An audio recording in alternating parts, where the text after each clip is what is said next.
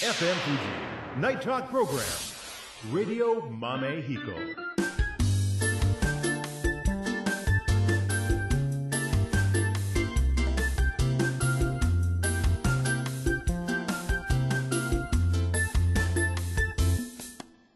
はい、ラジオ豆彦のお時間になりました。豆彦の石田です。こんばんは。はい、井川です。あのー、あれですよね。2月って、2月って、まあ、ウルード氏以外は28日しかないから、うんうん。2月と3月って、んまあ、普通、曜日同じなんですよね。うーん、あ、そうなの？ねそうね。1日が2月1日がもし日曜日だったら3月も日曜日じゃないですか。うん、七四二十八でね。そうそうそううんうんうん。だからこの間、うんバレンタインの日に放送があったってことはホワイトデーの日にも放送あるってことだよねああ、そうなんだ。うーん、そういうことだ。そうホワイ3月ホワイトデーですよああ、ホワイトデーね。はい俺でももうほら、バレンタインデーにほとんど、ほとんどっていうか、まあ、もらってないから、うんホワイトデーとか、うんまあ、全然、あの、スルーです。なんかさ、いや僕別にホワイトデーの時はね、あのバレンタインの時ほど別別に僕先だったりしないんですけど、うん。あのーまあ一応僕はさ、うん。あの結構もうちょっと豆彦よりもこうなんていうかパブリックな現場にいるから、うん。うんうん僕はあの要は外プロの人間としているからさ、まあ当然義理チョコ飛び交ってるわけですよね。あーそうよね。現場では。あの義理チョコとか、えー、なんとかチョコ。飛び交ってるわけですよ、うんそれも、うん。なんかその辺の棚にドカッと置いてあってご自由にどうぞ的なね。あーそうもうあ義理以外の何者でもない。ー義理チョコ飛び交ってるわけですよ。うん友チョコとかもあるんだってね今。友チョコもあるよね。なんか女の子同士とかでね。僕一応ねもらったものは返さなきゃって結構義理がたいから、まあ、一応僕は返すわけですよ。うんうんうん。でもねそんな時は豆彦のテイクアウトおすすめ。あそう。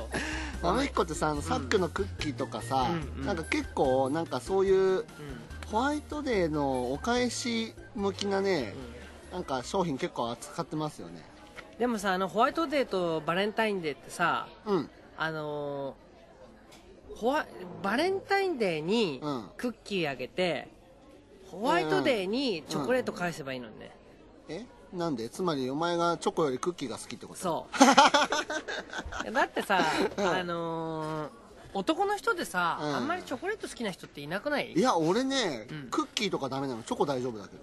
あそうなの？そう俺逆だな。なんで？クッキーの方が好き？いやな甘いじゃんチョコレートって。だしクッキーの方が甘いよ。いやいやいやだし、うん。食べれる量が限界ない。ああそれは確かにね。俺でもこの前ね、うん。電車に乗ってたらね、はいお母さんがねお母さん？あそのなんか電車に乗ってたなんかその辺のお母さん子供がぐずっててね隣に乗ってた、うんその隣にぐずってた子供にねうん。もうしょうがないなっつって板チョコあげたら、うん。その男の子、うん。泣きながら1枚食べちゃったんだよね、でも泣き止んでないじゃん。うん、そうそう。いとか言いながらうん。1枚食べてるえどんくらいの男の子？何歳ぐらい45歳？4歳ぐらいじゃない？そのくらいの子に板チョコ1枚ってちょっとトゥーマッチじゃない？いやーそうそう。ああいうだからチョコレートってさ、うん。どうなのかなっていやすげえ高カロリー。でも逆にさなんていうの？こう登山する人が1枚忍ばせてたりとかもうなんか生死を分かつような場合に板チョコ1枚あって助かるっていうケースがあるぐらいだからさ、はい。高カロリーですよね。そうでしょうねあもうこの話飽きた？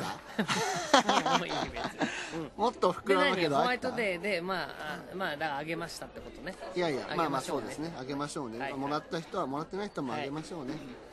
はい、あの井川さんここ何回か、はい。あのもうこのラジオでは、もう映画の話題で持ちきりでしたけど。ああ本当この世間の誰も持ちきりじゃないのに 俺だけ、ねえ。俺とお前だけ持ちきりだった。前回はもう撮影現場の渦中から、うん。あの撮影中の隙間を縫うようにねそうね。2回ぐらいに分けてお届けしましたけど、覚えてないけど、あのようやく終わりましたね終わりましたよ撮影。あっけなかったですね。あっけなかったですか、うんわずか1週間。うん。10日ですか、どうですか？あまあ最初のまず第一の感想としてあっけなかったっていやいやいやいやいやいやいやいや。いいやいやまあそいんなね。やこれね、うん。まずね映画をねはい。なんて言ったらいいのかな。うん。いややっぱりあの映画の感想つくあの何？感想っていうんですかね。はい。あのそれを制作のか過程でうん。聞かれても何とも答えようがないよね。あ例えて言うなら、ーうん 例えて言うならはい。うーん俺競馬やらないけどあはいはいはい馬券を買った直後にはいうん「どうですその馬券?」って聞かれるようなもんで。ああそっか。まだレース終わってないのに。終わってないのに、うん。買った馬券について馬券を買うっていうプロセスが終わっただけでそう。レース自体は始まってもいないのに。始まってもないのに「どうですその馬券のなんとかを買った今の感想は?」とか聞かれてもああいやまだ馬走ってないしっていういわく言い難いね。感じうん。に近い。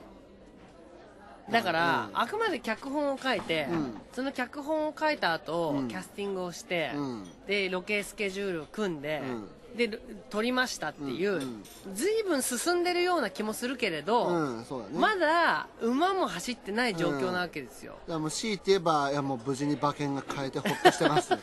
そうなのそうなの。そうなのよ。それでしかないのよ。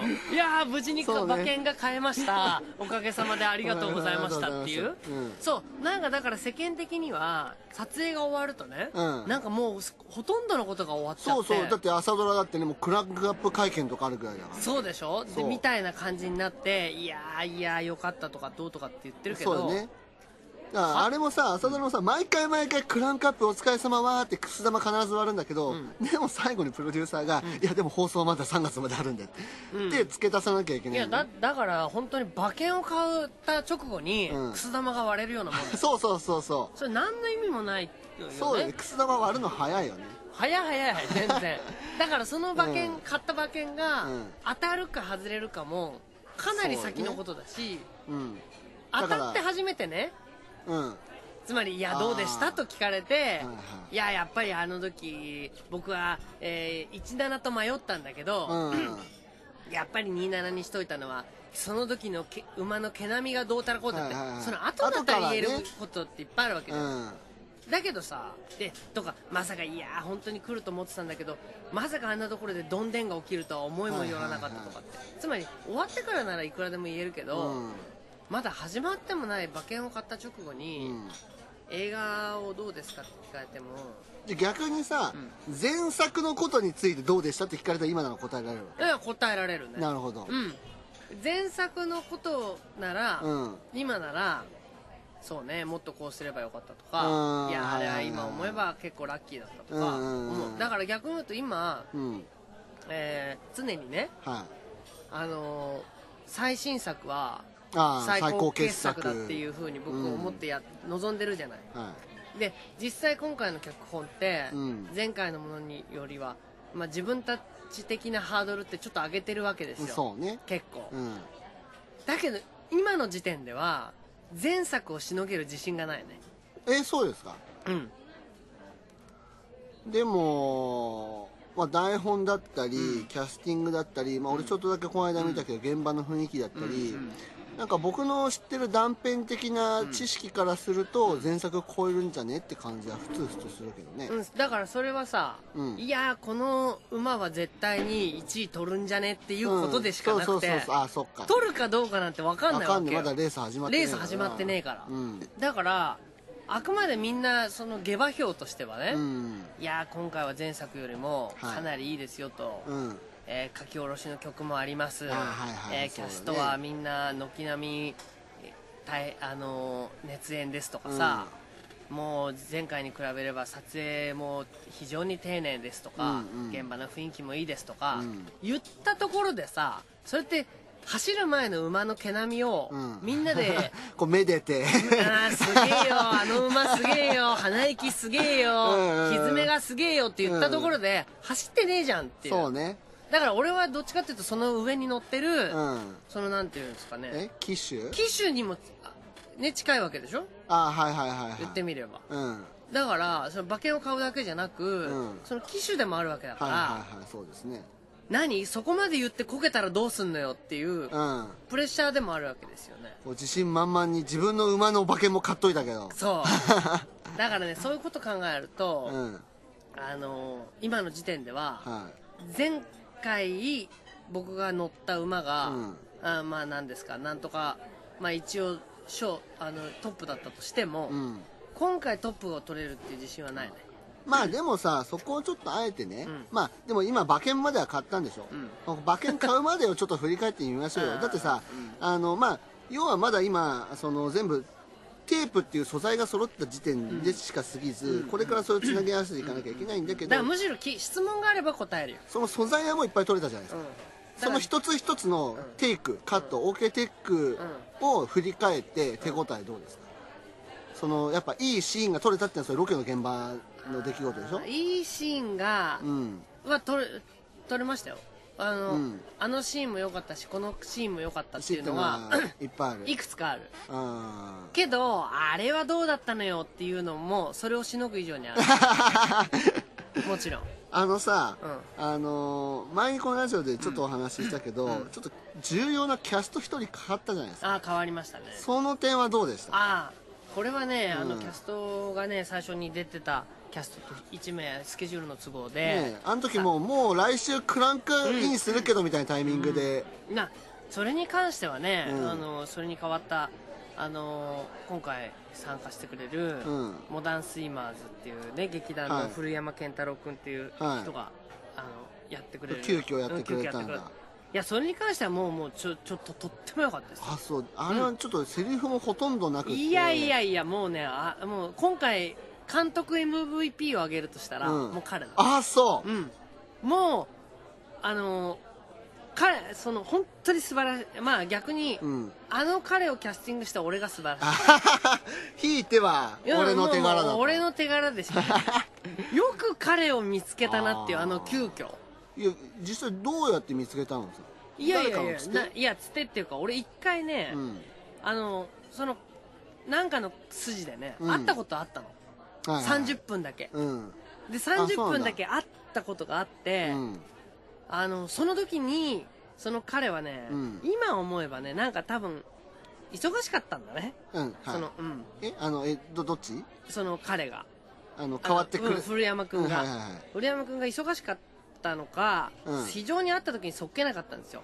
そっけなかった。あーとかうんとかしか言わなかった。何か、はいはいはい。今などんなことやってるの？えー、あーみたいなうん。でその時の記憶が残ってて、うん。俺ねあのキャスティングはね、うん。その最初にキャスティングしてた人が、はい。あのーまあ、スケジュール他の映画のスケジュールでうん。どうしても厳しいと、うん。でまあ粘ってなんとかなりませんかなんとかなりませんかって言ってたんだけど、うん。もういよいよダメだって思った時に、はじゃあっつっていろんな方々いろんなところに声かけて、ね。なんとかなりませんかねっていう聞いていろんな人には会ったわけよ、はい。会ったり話聞いたり。でも、夜中の12時過ぎぐらいに、うん。ふっとねその、古山君に会った時の印象をパッと思いい出したわあー降りてきたんだうん。古山さんが。それで古山さんの近くの人に、うん。その12時過ぎにメールしてはい「あの彼って今何してんの?」ってメールして、うんいやあの別に何もしてません。じゃあ、うん。お願いできますかって言ってね、うんうん。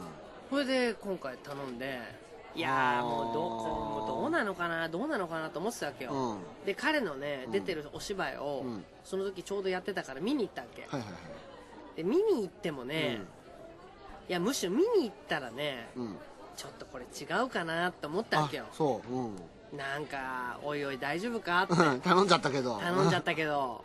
でもまあまあしょうがねえかと思ったんだけうど、ん。いや今回最高に良かったね、ああまあそ、彼はね本当にまああのこれも結局まだレースが終わってないからね、ううん。お前は見たら、うん。いや絶対言うと思う。あ。いやー今回はもう本当にお前があの時すごい良かったって言ったのがもうやっと分かったって言うはず俺がいかにも言いそうなこと先回りして言うなよ。いやーあれは良かったねー言いそうだね。言うと思うよ。あーそう。すごい良かった。本当に。あのさ、俺毎回ね、まあ、いろんなドラマに触れてて思うけど、そのやれ脚本、演出、うん。まあ、制作いろんな仕事あるけど、俺そういうさ、なんかメインの仕事、ん。まあ、中核の仕事にこう負けず劣らず難しいのって俺キャスティングだと思うんだよああキャスティングね。キャスティングってさ、うん。なんかそのまず その役者さん知ってなきゃダメじゃん。うんうん。知ってなきゃだし、そのドラマとか舞台とかいっぱい見てないと知らないし、そういうの膨大な知識があった上で最適なピースを探すわけでしょ、うんうん。これって実はものすごい大変なことじゃないの？まあでもねそれはあのそうでもないよ。そうなの？いや俺友郎さんとか木野さんとか捕まえてきたのってすごいなと思うんだけど。いやいやあのーやっぱりねうん。あのーあれですよ。冷蔵庫に残ってる ありものの材料でチャーハン作るのと一緒ね。まあ俺たちの場合はねそんな金もね人もないからいやいや多分ねお前には絶対にできない仕事だと思うよ。うん。なぜならできる気がしない。冷蔵庫空っぽだもん俺。いやいやそういうあもちろんね。冷蔵庫空っぽだってこともあるけど、うん。ご飯と卵とネギさえあればチャーハンってできるわけよ。そうね。でも、うん。そのバランスっていうかね僕はいキャスティングで一番いつも思ってるのは、うん。陰と陽なんですよはいはいはい。陰と陽ね。陰と陽、うん。だからあの有名無名っていうのは関係なく、うん。陰を一人決めたら、うんうん。陽を一人決める。そうやってなんか全体のコントラストのバランスがプラマイゼロになるぐらいにするわそけねう。でっていう風にしていくことだから、うん。あのー実際に例えばこの人がだから一気には決まらないわけねキャスティングってああそうか。あのー、なるほど、うん。こっちが出たらこっち引っ込めてみたいなことを考える、うんだからあのなんです。なんだお前みたいに、うん。なんだろう。豚の角煮丼食べた後に、うん。すき焼き食うみたいなね。陽へ陽へ行くみたいな、うん、その後に照り焼き丼食べるとか、うんうん。焼き鳥食うとかみたいない人はもうキャスティングは無理ですよね、ああなるほど。だからやっぱりうん。最初に例えばなんだろうあのーまあアンティパストから入るとかうん、だからさそのなんかちょっとこうお肉のものを食べたら、うん。その後ちょっとなますみたいなもので ちょっと口をさっぱりした後うんちょっとまた歯ごたえのあるレンコンみたいなものを食べつつあー。その次にまた、えー、とおひたしに戻る。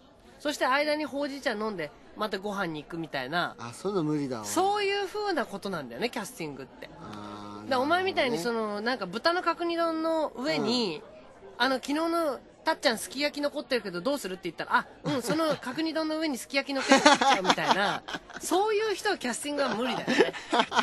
あ分かりやすい。だから、うん。結局例えばあの 友郎さんがあ決まりましたってことにまずなればね。友郎さんがいきなりさ、さそのちょっと陰か陽かって言ったら結構難しい感じだよいやそうそう。だから友郎さんってあのまあそうみ世間の印象的にはうん。ちょっと明るい人に見えるのかもわからないけど、うん。僕からするとすごく陰なんだよね。陰なんだ。うん。うん僕からすればね。俺オールマイティーって感じするけどな。うん。でも陰な感じなわけですよ、はでその陰な感じをうん。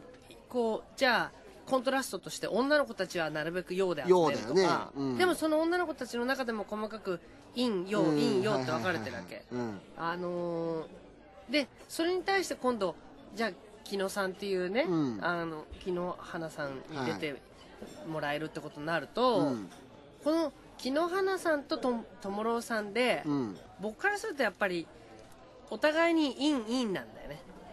ああうん分かる気がする、うん。まあ役どころもねどっちかというとこうなんか朴突としたいやいやだから役だしね陰陰だから役どころをそれでもおかしくないようにあそうか当て書きし当てるわけだ。て書きしていくわけよ。うん。でもそれだと話が転がらないし、うん。動かないので、うんじゃあそこにどういうふうな用を持ってくるかっていうような形で決めていくわけよ。ただ、うん。あの役が明るいとか暗いとかっていうこととい本人の持ってる陰と陽ってのは別だからね。そうね。だって俺、昨日さ、うん。あのー次の朝ドラの「あまちゃん」のね、うんうんうん。第一週の試写見てきたんだよ、うんうんうん。記者試写、うんうん。もうね木野さんの役ったらもうね、突き抜けてようだからね。もう真っ赤っかって感じ、うんうんうん。そうでしょ、うん。だから多分木野さん自身は本人が陰な部分が僕はあると思うんですよ。はいはいはい。だから多分陽な役をやりたがるんじゃないかなと思う。ああで僕からするとだから多分陽な役の方が多いんじゃないかなどっちか。だし本人も多分陽のことをやる方が楽しいと思いますよ。だけど本人の資質的には、うん。あなたから見たらいいんなんだ、うん。木野さんって、まあもちろんみんな陰と陽のどっちか両方持ってるんだろうけど、うん。その陰のところをその陰すぎない感じでえどう描くかっていうところなんだよね。だから陰だからって陰な感じの役そのままやらせたらさ、うん。あのどうしようもないじゃない。まあ、この間前回のね、あのーロケ現場からお届けしたラジオの時も、木野さんに全然 OK 出さなかったっすよね。いやそうそうそう。だからどうしても陰な役を陽にやろうと思うとかね、うん。そういうとこあるけど陰な役を陰のままでやってもでも陰すぎないでねっていうところをやってるから。ああ難しいね。だからやっぱりその辺っていうのはさ、うん。チャーそのチャーハンを作るのにもそれなりのコツがあって、はいはいはい。あのまず最初にあのーごご飯にね、うん。油のコーティングをして、はい。そこに卵のしこの水気が中に染みないようにパラパラっと仕上げるっていうコツがあるわけだよね。あなるほど。だからご飯と卵とネギって言ったら、うん。じゃあまずネギを油の中に入れて、うん。そのネギの香りを油に移して、はいはい。その移したネギ油をご飯にコーティングして、うんうん。そこに卵をまとっていくっていう、うまそうだね、うん。うん。それがチャーハンのコツなわけじゃない。なるほど今ちょっと勉強になった、うん、だけどそれをさ、まあ、チャーハンっていや卵とネギとご飯だろうみたいなことを、うん。例えば言ってね、うん。じゃあっつっていきなりご飯あの卵入れて、うん。そこにご飯入れて、うんそこに後でネギ入れたら、うん。それおじやの 炒めおじやで。でも俺だったらもう先に卵かけご飯を作ってからそれをフライパンに投入してるああそれもただの卵かけご飯を フライパンに入れたもの。焼き卵かけご飯。ねそう。だからそういうふうにやっぱりその時その時のうん。状況に応はいじてはいはいはいそのやっていくっていう。だからキャスティングってのはやっぱり一気には決まらないし、うん。こうやって今回みたいに一人こう欠番で抜けちゃったってなったら、うんうん。あはいはいはいはい。そこにどう何を入れるかっていうのは、うん。実は言うともう非常に幅広いキャスティ人に声かけてたわけ。うんはいはい。であのーなんつったかな。俺これ不動産屋もそうなんだけど。不動産屋ってですか？うん。うん。あのよくね、うん。不動産屋さんで、うん。えーっと例えば不動産屋さんに行って、はい。あのどんな物件をお探しですかと。うん。でどんな物件をお探しですかって聞かれて、うん。えーはい、えーじゃあ 3LDK で、うん。えー南向きで、はい。えー窓からはきあの建物がなくて、うん。あの風通しが良くて駅が近くて、うん。家賃が10万円以内とかって例えばはい。言うとするじゃない、はい。はいはい。ご希望いかがですかって、うん。でもそういうのってさ俺意味ないと思うわけよ。えなんで？あるわけないじゃんそんな ああ まあね。そんなの、うん。はっきり言って。お前が住みたいそんな条件なんかあるわけがないと。それでシステムキッチンで、うん。システムバスで、うん。床暖房で、うん。ってね聞いたって意味ないじゃん、はいはい。ねえんだかだから俺からするとあんまりそのあなたのご希望なんですかって言われるのってらうん。あのーすごく僕は好きじゃないんだよね。でもある程度自分の中の最大の要望を伝えないと、そこから妥協していくわけでしょ？そうあだけど僕はそういう考え方はしないんだよね。そうなんですか？うん。うん。その最初にこういうものがありたいって言って結果的にこうなるっていうのは、つまり妥協でしょ？はいは俺そのね妥協っていうのは好きじゃないわけ。いでも難しいよなかなかいやだから最初からこういう風なものがしたいんですという風には、うん。最初から考えないようにしてるわけよなるほど、自分の中のその最高点みたいなのは設定せずに。そう。だから逆に、どんな物件がお探しですかって聞かれたら、うん。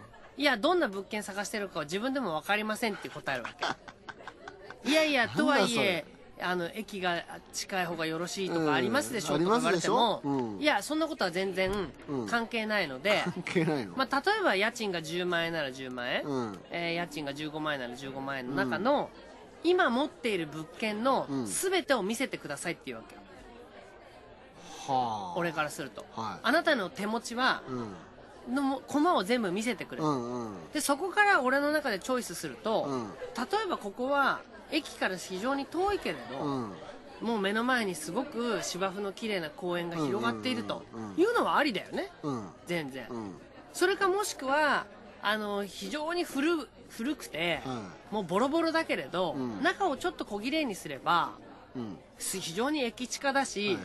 あの築年数は古いけれどいあこういう生活もイメージできるかもなって思うよねお前ちょっと俺の家探してくんない？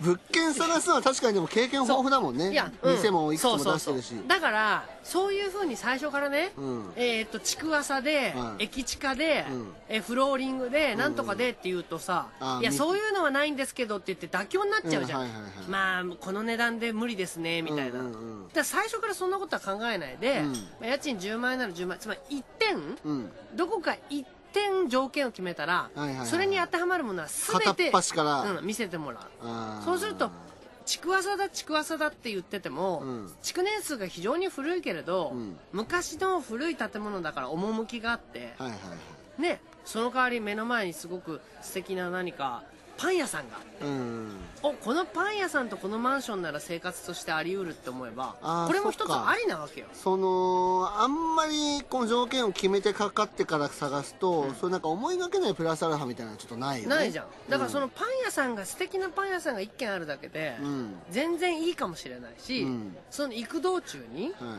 い。なんか素敵な花畑が例えばあれば、うん。あの駅まで歩くのが楽しいかもしれないじゃん,、うんうんうんでもそういうのってさ、うん。最初から分かんないわけでしょ、そうねその片っ端から見て初めて、うん、え出てくるそうそう。かもしれない、ね、だから最初に条件を出して、うん。あのどうこうするっていうふうにはしないわけ。だから、うん。いろんな今回の役者あのいなくなね、うん。あのどんな人をさ探しおあ探しですかうんって言われても俺はこの期間中にうん。スケジュールの空いてて、ううんちの映画なんかに参加できる人なら誰でも会いますって言ったああはいはいはいはい。いやいやいやいやそれはでもどんな役柄とかってありますでしょってか言われても、いやそれは教えない。あうん。そうなんだ、うん。あなたにそんなどんな役がいなくなったか教えませんって言ってそうなの？うん。片っ端に会っていくえっ、と古山さんうんいやもちろん古山さん結局そうするといろんな人に会うんだけれど、うんその時に、うん。まあ全然なんていうの俺下は二十歳ぐらいの男の子からあはいはい。40過ぎの人までうん。会ったわけよ。その探した時に。まあちょっと年齢不詳な役だからね。そう。うん。で何でもありだから。そうだよね。うん。うん。だからそのなんなんていうんだろうあの福君から三國連太郎まで だいぶ幅がある。そこまで幅があっていやいやでもダメってことないな、あり得るな。どど十分あり得る。あの役はあり得るな。福君から芦田ああの愛菜ちゃん愛菜ちゃん芦田福いやあの性別は男性だから。三國連太郎までありな役なわけですよ、うん。言ってみれば。はいはいはいね。そうだね。ででもそうするとまあ今回結局、まあ、古山君って僕はイメージで決めたけれど、うん。その人たちに会ったっていう一つの財産経験にはなるわけじゃん、はいはいそうだね。そうすると何かの時にまた次ってことああになるそうだよね、うん、だからあの俺は最初から検索っていうのは絞らない。はあ。それが全てのコツ。だから最初から今日はホイコーローを作ろうとか思わずに、冷蔵庫開けてみるんだ冷蔵庫の中にあると豚肉があるけれどキャベツがないけれど、あ白菜がある白菜のホイコーローを作れないかと思う、はいはいはいはいはいじゃないとさこれがないとダメ、あれがないとダメってなっちゃうじゃん、うん。そしたらね今のだとねホイコーロー作るって決めてた時点でもホイコーローできないもんね、今の場合だとね。でそういうのをうん。ブリコルールっていうんだってね。え？え？なんか、うん。栄養がよ良さそうな違う感じ違う。あのねあのフランス語なんだろうと思うんだけどうん。あのそうやって物を作ることをブリコラージュって言うんだよブリコラージュってコラージュですか？はいはいはい。あのつまり最初から計画しないで、うん。とりあえずあるようなものをうん。思いつきも含めてうん。ものを作っていくことをブリコラージュ。うん。そのあのなんだっけな。あのそういうふうにしてものを作っていくっていうようなことが、うん。あのまあものづくりだっていう言葉があるんだよね。でもそれって要はこうアドリブ力というか応用力ってことじゃないの？うんだからその反対語がうん。エンジニアリングっていうんだってね。エンジニアリング反対つまり、うん、設計通りに作っていく。あはいはいはい非常に綿密な設計をしていってうん。非常に綿密な設計の結果ものを作るっていうことと、うん。まあ、あり合わせのものを作りながら、うん。なんとかあのその時に最適な着地点を見出すっていうね、うんはいはいだからもちろんエンジニアリングとしてものすごく計画性があって、うん。えーえー3年後に私は引っ越しをすると。うん。そのために非常に条件のいい物件を探したいから、毎週末、うん。不動産に沿線のしらみつぶしに。とかってやるとかっていうふうにして見つける人も当然いると思うけど、俺はそういうことはもう到底無理なので 基本的には今その場で引っ越ししたいと思ったら、その時にある物件の中でどういうふうにしたらうん。最適な暮らしっていうのがその条件の中であるかってことを考えるんですねまあでも昔からそのブリコラージュ力には長けてるよね、井川さん。だから逆に妥協するっていうのはうん。エンジニアリングでしょ、あそうね、うん。エンジニアリングの劣化版だよね。そう。だからエンジニア、どうせエンジニアリングして劣化するぐらいであったら、うん。最初からブリコラージュした方がいいっていうのは僕の考えああなるほど。その自分でもどんなものができるか分かってないっていうところがいいね、だからあのーいろんな映画なんか作るとうん。あの方々にあのー迷惑かけるよね。まあそうですよ。カメラマンなんかにしても、どんな絵撮りたいんですかって聞かれるわけ。いや当然聞くでしょでもどんな絵撮れるのって俺聞きたい。ああ、うん。なるほど。いやそれは監督がどんな絵を撮りたいか次第ですって言われるから。当然の言い分だよ。うん。いやそれはあなたの撮り方次第ですって。言い返すわけうん。いやというのは、うん。まあそれいろんな監督がいるでしょうけど、うん。僕の撮り方っていうのは基本的には、うやっぱり映画なんだからうん。演劇ではないし、うん。あのーましてやラジオでもないからね、はい。その映るってことがやっぱり全てなんですよ。映画っていうのはやっぱり撮影なんだようん僕からするとね、うんうん。だから何が映るかっていうことが、うん。どう映るかってことが先にあって、はい。その中で役者っていうのは芝居をするものだと思ってるわけ。えー、っともうちょっと具体的に言うと？もうちょっと具体的に言うと、うん。例えばカメラマンなんかは、うん。役者に芝居をさせまず役者の芝居を見て、うん。それをどう撮るかってことを考えたいっていうふうに思うわけよね。でもうちからすればねうん具体的に言えばですよ、うん。例えばうちの店内で撮影してますよね、はいはい三茶店でね。三茶店で、うん。それってスタジオじゃないから、うん。当たり前だけどいろんなところ映っちゃいけないこともいっぱいあいるわそうですよね。けもう壁のすぐ脇にはうん。人があの映らないように張り付いてるとかああそうだね。うん、うん。あのレームのそばね。こっち側にはコードが映っちゃうとかっていっぱいあるわけじゃん、ありますね。そうするとカメラが動かせる範囲ってうん。非常に制約を受けるわけよ、そうね。特にうちの店広いわけじゃないからね。そう、ん。そうするとカメラの制約をまず先に考えた上で、はいはいカメラが自由に動ける範囲を設定した上で、うん。役者っていうか人間を動かした方が、役者の制約とカメラの制約なら圧倒的にそうかそうかカメラの制約の方が強いわけ、うん役者に好き勝手やらせてそれを制約なるカメラで追うよりも、そもう最初からこの制限の中で動けと、役者に言うっていうふふうに言う方がずっと早いわけよ、うんなるほどなるほど。ただそれをカメラマンってすごい嫌がるっていうかああそう？役者にまず動いたものを自分たちでどう撮るってことを考えたがるんだよね。なるほどなるほどなるほど。でもいやいいとやってみなって、うん。だけど結果的にはさ、うん。すいません役者さんもうちょっとこっち側にあの歩くのこっち手前にしてもらえませんかね？こっち映っちゃうんでってことをそこから始めるわけよ。はいはいはいはい。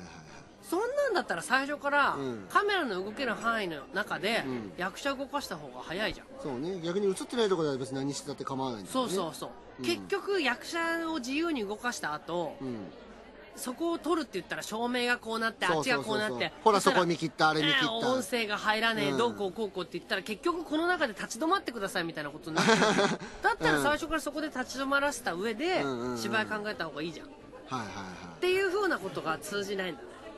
俺それ前回もそうだし今回もそうだ。よ、まあでも前回も今回もね、結局メインのロケ現場は三茶店なわけだから、それはもう制限だらけだよね。そうそう。だから結果的に俺今回もねうん。9割5分は俺がカメラやった。うん。だからもうその方が早いんだよ、俺がカメラをここでここの範囲でこうして、うん。こもちろんそのカメラ自身を実際動かすのは、うん。ちゃんとカメラマンがやるけれど、うんもうこの絵でこうしてこうなってそこから人がこう来たっていうのを、うん。まず絵を決めてから、うん。役者はいくらでも動けるから。そうね。人間なんだから、うん。自由気ままでしょ、その点。まあカメラっていうのは、そうね。実際問題そのなんていうのかな。いくらカメラが自由だっつったって、あの180度は回せないんだああそうだね。うん。うん。まあもちろん制限があるからねカメラは。だからそういう意味で言うと、うん。まああの何？先に制約の多いものを決めて、うん。その後制約の少ないものを決めていくっていうのは、うん。もう豆彦のやり方そのまま。あそだって豆彦だってそうだよ、うんっていうのは 例えばじゃあ春ですからね、はい。ショートケーキやりましょう、はいはいはいえいちごフェアですって言ったって、いちごのショートケーキを作れる人がうん。一人っきゃいなきゃ、うん。いちごのショートケーキなんて全店でやるのなんか不可能だ。うそうだね。うん。だからまずいちごのショートケーキを作れる人が一人しかいないっていうのと、うん。いうことがあったら、うん。その条件の中でいちごのショートケーキをうん。三軒茶屋店だけでやると。あはいはいはいつまりまず制約の強いものを決めてから、はいうん。制約の低いものを当てはめていくっていうやり方は豆彦で学んだんだねああなるほど。つまりまあ自分が持ってるものの範囲でしかね、うん。物事はできないからね、そう。ん、俺それであれもこれもっていうのはできないから、うん。結局その時にやっぱり一点これっていうふうに決めると、はいはいはいはい。そのぐらいね映画っていうのは非常に不自由なものですよ。ああそうね。俺が思うにはこのラジオなんかに比べてうん。1000倍ぐらい不自由なもの。はいはいはい。まず尺が短い。うん。で1点しか伝わらないんだよ映画って。えー、っとえその映ってるとこそうろってこと？俺ね、うん。だから映画が一番近いメディアは何かっつったらね、うん。短編小説じゃない？はあ、はあだから連続ドラマぐらいになれば、うん。割とこういうダダラな感じでやってもね、うん。あのそれを汲み取れるだけの尺もあるしあーはいはいはいはい。余裕もあるけれど映画っていうのは、ん。単発勝負だからね。所詮1時間半うちなら1時間半長くたって2時間でしょ、うんうん。その中で何か一点これっていうものをうん。伝えること以上のものは伝えられないんだよ。あー。いくら言っても。それをなんかいや映画なんだからもっとこうこうしようああしよう、うん。こうしようもっとこれをくく組むべきだってやっても、うん。食えないよねはっきり言って。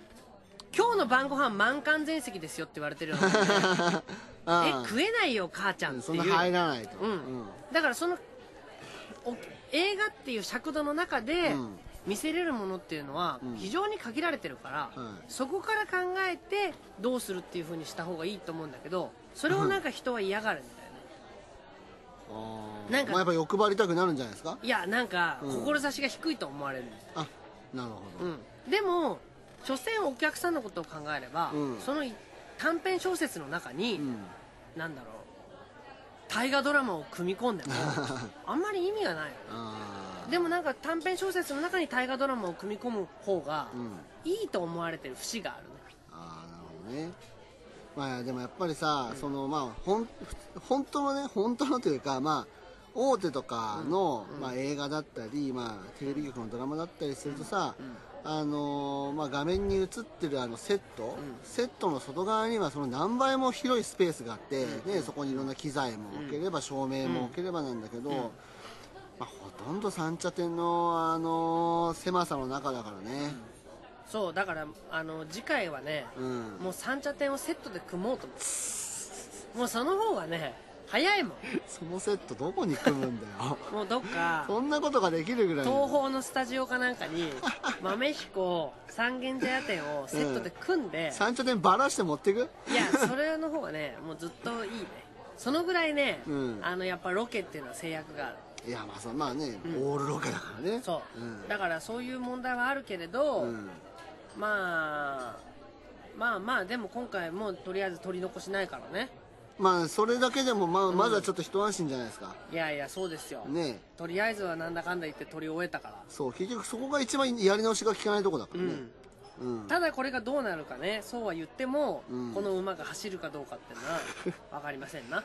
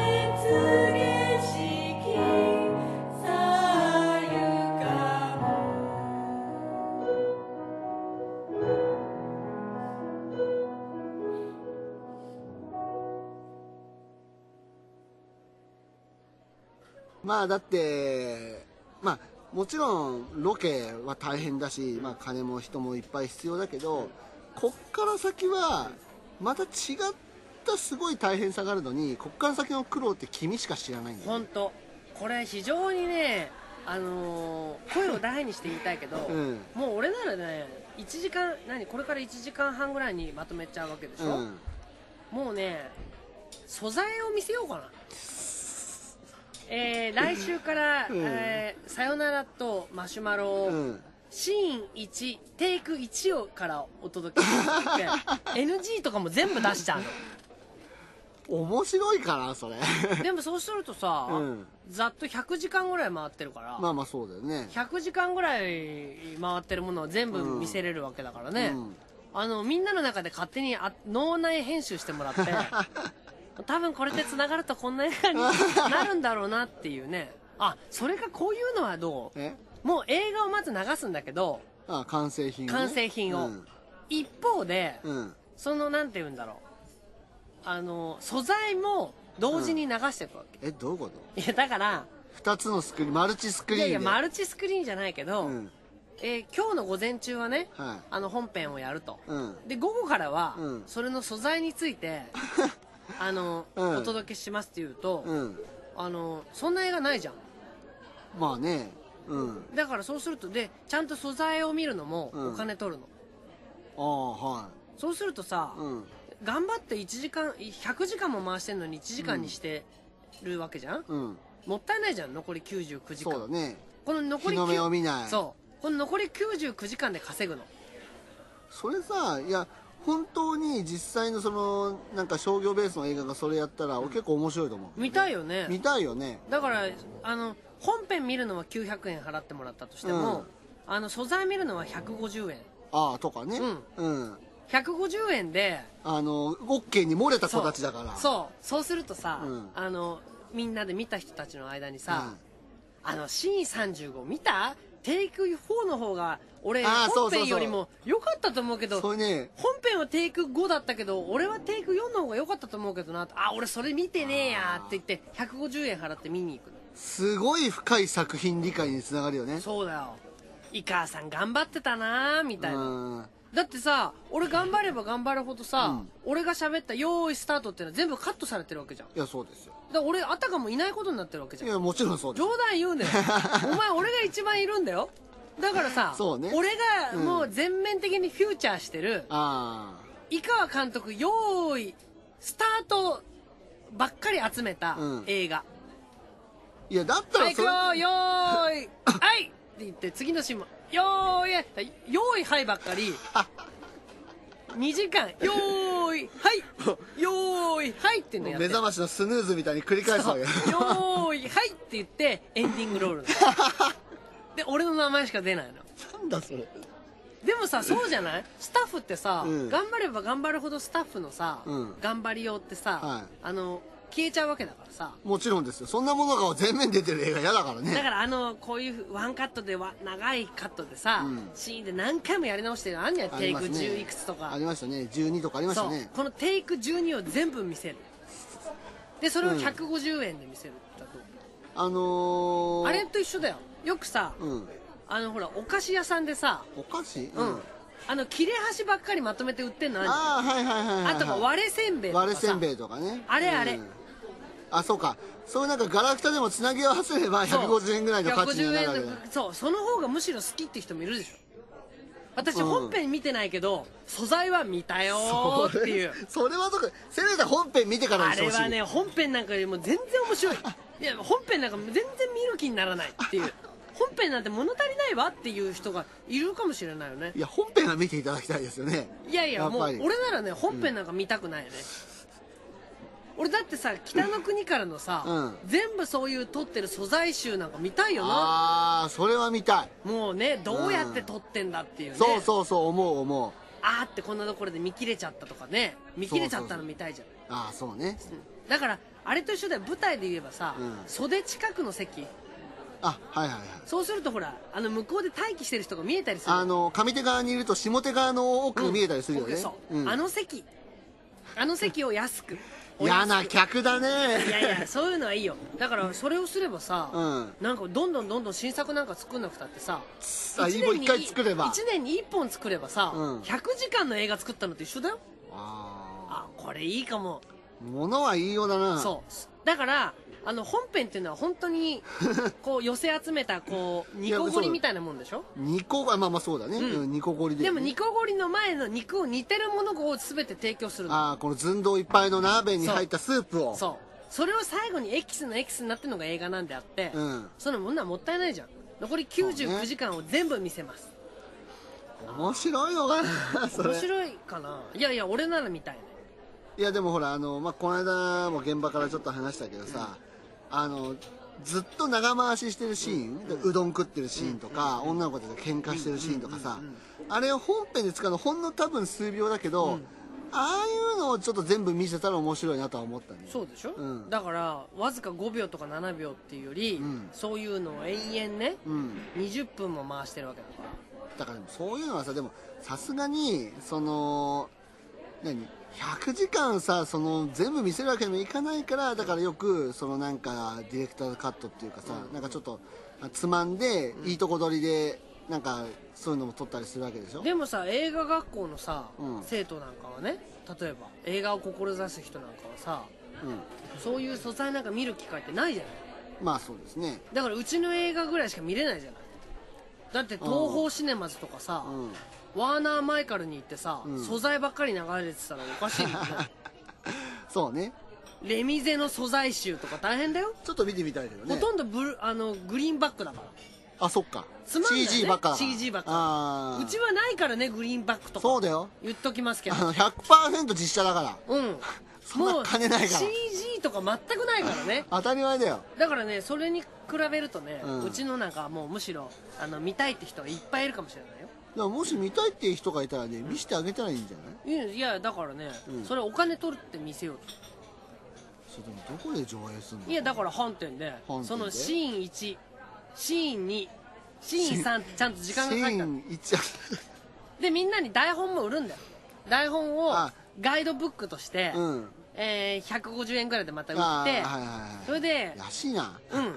シーン35どうしても見たいよなーって言ったら、うんスケジュール表が後ろにものすごい細かいスケジュール表がくシーン35は、うん。え5月27日の4時半からですってなってると、行くとシーン37ばっかりやってんだよ。だからさあの映画110シーンぐらいありましたよねそうだ確から110シーンあるから毎週日曜日110シーンやるだけでもすごい大変だよ。大変だよ。1年間かかっちゃそうだね、う、うん、でそうするとさ俺たちそんなにこんな半年に1本なんかさ、ん。アクセクやらなくたってさ素材たちのおかげでさ悠々自適だね。それ何？そのあそのシーン35見たかった人が、たまたま見逃しちゃったらそれも1年後までやらないんでしょ？そうだよ。だからそういうふうにもう1回こっきり。あでもそうするとね、うすごい詳しくなるねみんな。あいやまあそうでしょう。ね現場にいた人並みに詳しいむしろですよ、ねみ見てほしいのはキャストに見てもらいたいねあキャスト？うんだってキャストはさ完成したやつしか見てないからさ、あはいはいはい言っちゃ悪いけどさ、うん。編集の妙でね、うん。いやー上手だったねとか言われてるわけじゃん、うん。ふざけんじゃねえよって。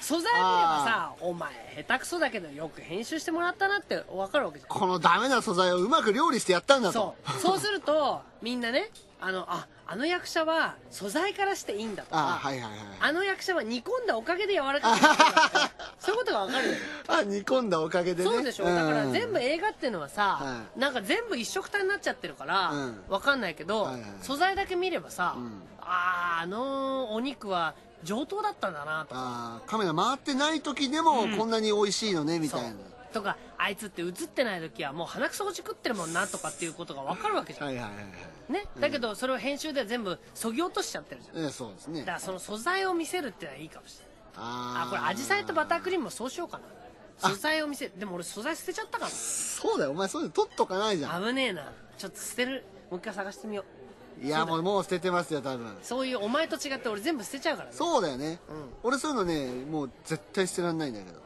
だからそういうだってさほらあれじゃない、週何？ジャンプとかサンデーとかさ、はいはいはい。ああいうのもさ、うん。うまいこと考えてんのはさ、うん。毎週毎週やってるけど、うん。その切り張りをまとめて単行本で売ってんだろ？いやまあそういうことだよそうじゃん。そうそうそうそう。同じことじゃんあ同じだね。そう、うん。あれを結局全部編集したものを単行本として売ってんだって、まあまあそうですね。その毎週の素材も売ってて、うん。なおかつ単行本も売ってんだから、ね、そうだね。うんだからうちも素材は素材で売って 単行本はたまとめたやつはまとめたやつで売ればいい、でもさジャンプとかのああいうのは別に NG カットもどさくさばけで売ってるわけじゃないからね。別に。ああそうか。そう。いろんな作品をこう小出しにだ集めたのが毎週出てるやつでその中から一つを抜き取ったのがああのあコミックスですかじゃらあじゃあじゃあこうする？あの1時間半の映画を、うん。もう5月とか6月のうん。公開を待たずして、待たずして。来週ぐらいからもう新一から繋いでっから繋いだものから見せていくっていうふうにしたら1 回50円。え？あちょっともうもうエンディングの曲。何？だから1回50円で で新一繋がったものからもうどんどんおこうあのえあれしてっちゃうやだよせせめて繋がってからにしてくれよ。で繋がったらまとめて単行本として売るから。あの井川さんあれですよ。何？あの今おお話が盛り上がってきたところうん。恐縮ですが、うん。このラジオ今月で終わるって知ってます？えそうなの？このラジオ永遠に続くんじゃないの？このラジオは、えっ、と次の次の回。えっ、とだから今日が今月いっ14日だぱいってこと？から今月いっぱいですよ。でそうなの？次は2128日ですかで何が最終回。ですよ。とかよこんだけ頑張ってやってたのに。いきなり最終回なのかよ。ねもうでもそれでちょうど1年ですからはい。あのーなのでこのラジオ残すところあと2回と なりました。こんな唐突でいいのかよ そんな大事なこと。あそう。はいあのーですのでまああの今月いっぱいあと2回ですけど、えー最後まで、えー聞いていただければと思います。はい。じゃあ次回はまあちょっとお便り紹介しましょうかねはいはい、えー以上豆彦の石田とはいいかがでした